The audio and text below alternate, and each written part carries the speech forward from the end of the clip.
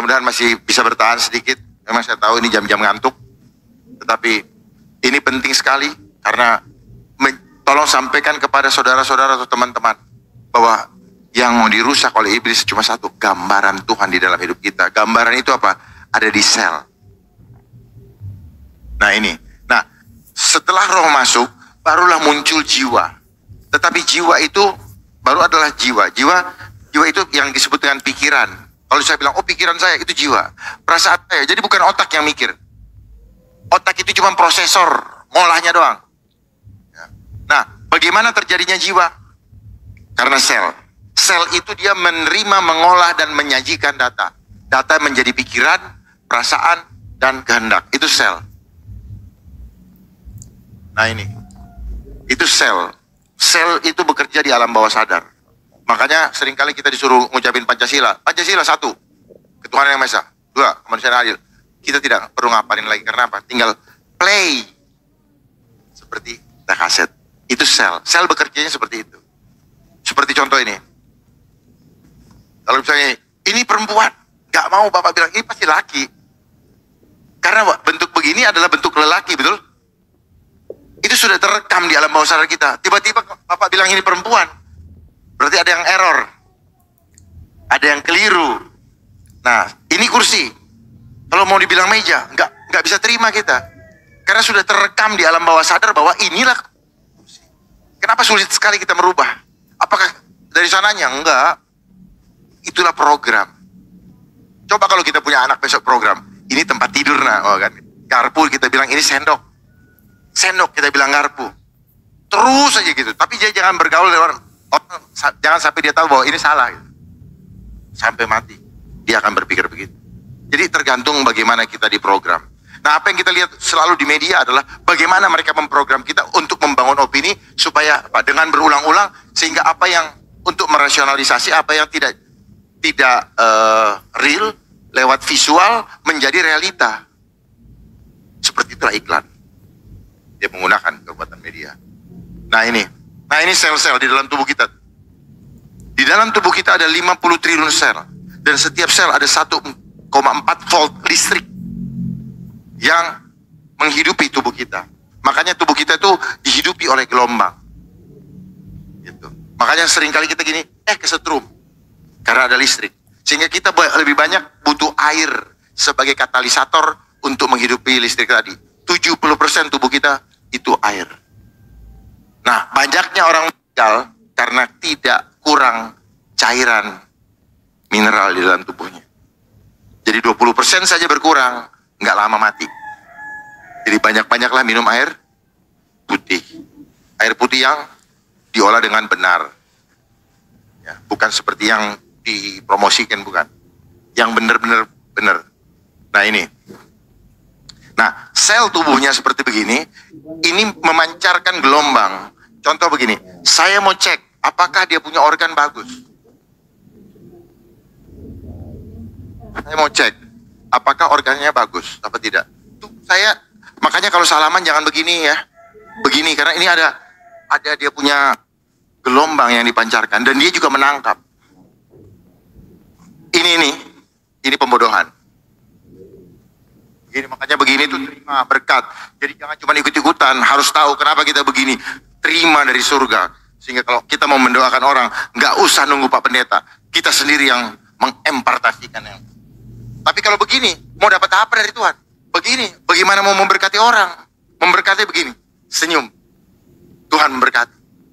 Shalom. Itu dong. Jangan bodoh.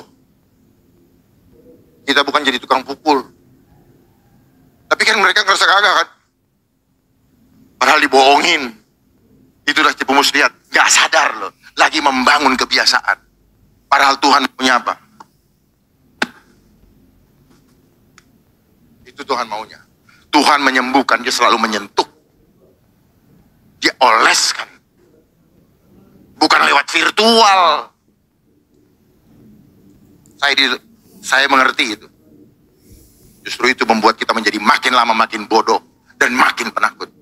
Karena apa? Sel kita rusak gara-gara gelombang yang dipancarkan oleh semua alat-alat ini. Termasuk handphone yang di tangan Bapak Ibu sekalian.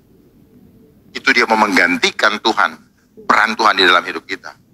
Dia mencatat dosa-dosa kita, Tuhan juga mencatat. Tuhan mencatat lewat apa? Lewat sel yang terpancar. Nih, sel yang terpancar ke Allah. Dia mencatat segala apa yang kita lakukan, yang kita sebut jiwa tadi. Itu caranya. Nah, sekarang saya mau cek dia punya sel ya, tes. Saya mau cek ini paru-parunya kuat nggak? Nah. Kuat. Jantungnya kuat. Yang kuat.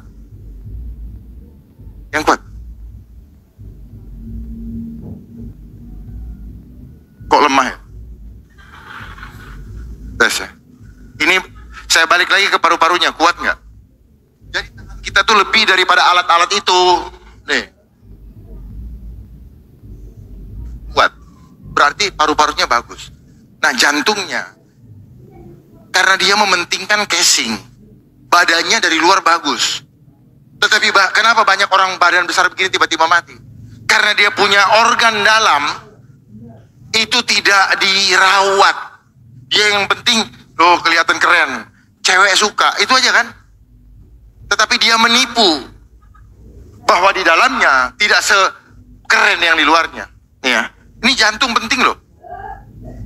Ya, ulangi. Begitu dia nge-gym lagi, tiba-tiba dia mungkin seperti Asraf. Bukan, bukan. Saya mau ngasih tahu ini apa adanya. Karena kita cuma berpikir yang penting bagus luarnya. Padahal dalamnya nggak support.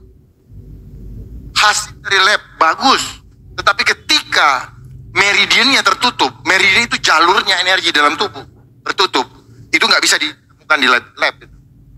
Itu mati, karena dia yang membawa informasi ke otak. Ya, tes, ya, pecah ya, tes. Nah, yang, yang, yang. Wah, ini gede. Ini gede. Kalau ini kuat banget. Sekarang saya mau cek livernya. Yang kencang, yang kencang. Badan seperti ini masih muda, levernya udah kena. Kenapa demikian? Karena inilah yang merusak, membuat kita menjadi orang-orang yang tukang marah. Lever kita rusak. Dirusak oleh apa? Dirusak oleh obat-obatan dan makanan yang kita masuk. Karena obat-obatan yang disebut selama ini ada ilusi bahwa itu adalah obat. Sebenarnya kita telah menelan hal-hal yang menjadi toksin buat tubuh punya lever udah kena. Pasti gampang marah. Lever udah kena. Pasti gampang marah. Pasti gak, mood, moodnya nggak bagus. Gampang berubah. Saya mau cek ginjalnya bagus nggak? Kalau ginjalnya bagus berarti dia pemberani. Tetapi kalau ginjalnya lemah, dia akan paranoid dan penakut. Ya.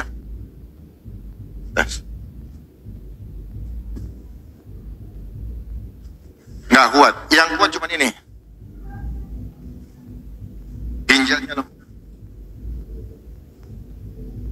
Potensi struknya sebelah sebelah sebelah sini. Enggak, saya mau kasih tahu bahwa sel itu luar biasa. Ada yang berbohong ke saya, itu bisa diketahui lewat sel temennya. Karena sel bapak ibu satu dengan yang ini terhubung seperti di ah ini. Ini. Silakan di foto ini. Ini. Ini ini dirusak apa? Oleh asupan-asupan yang kita masukkan ke dalam tubuh yang membuat kita menjadi merusak gambar Allah membuat kita menjadi nggak sakti lagi membuat kita susah untuk mengenal Tuhan dengan benar kalau orang lagi sakit selnya lemah dia nggak bisa mau ibadah itu mau cuman nggak nggak dorong gitu Berdoa juga mau tapi nggak ngangkat jiwanya. Karena apa? Selnya menjadi. Makanya sel ini bahasa Ibrani-nya apa? T sel. Lihat komunikasi-komunikasi di Indonesia, semuanya pakai T sel. Di seluruh dunia pakai T sel. T sel ini apa artinya? Gambar, citra, imajinasinya Tuhan. Jelas ya? Jadi inilah yang mau dirusak. Lihat, ada satu provider yang gambarnya mirip-mirip ini. Ada yang mirip nggak? Ada. Inilah gambar sel. Yang begini apa? Dicengkram oleh teknologi. Untuk apa? Menghancurkan selnya. Filosofinya begitu.